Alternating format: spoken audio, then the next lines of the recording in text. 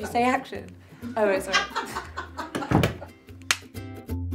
My name's Daisy Edgar-Jones, I'm an actor, and this is my wardrobe story with The Outnet. I think with fashion, less is more for sure, because I think, oh, that rhymed. if you buy something that you really love and it's, it's made with real quality, it can last you years. My first look, which I absolutely love, it's this gorgeous silk dress from The Row. Reminds me a lot of like Kate Moss in the 90s. It's really simple and I don't know, it makes me feel more elegant when I wear it. I really love this next look. It makes me feel more 60s. This dress by Kenzo is a dream dress because you can wear it multiple ways. I love the kind of 60s shape of it. It's also like got that sort of sporty feel with the stretch fabric. I also love a knit. It um, keeps you warm, even though obviously it's quite a small, it's quite a small dress.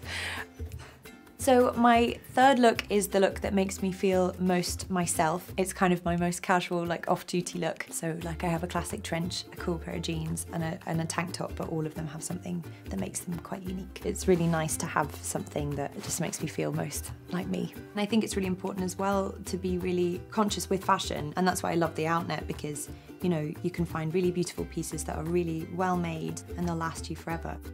Thank you so much for joining me for my wardrobe story with the Outnet. I've loved showing some of my special pieces with you. That, that didn't make any, did that, was that even English? That wasn't English. I love showing you some of the pieces with me. Okay, I'm gonna try again. Thank you so much for joining me for my wardrobe story with the Outnet. I love sharing some of my favourite pieces with you.